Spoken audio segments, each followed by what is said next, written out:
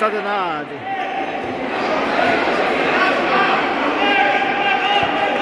Vem com sua jogada malhada lá.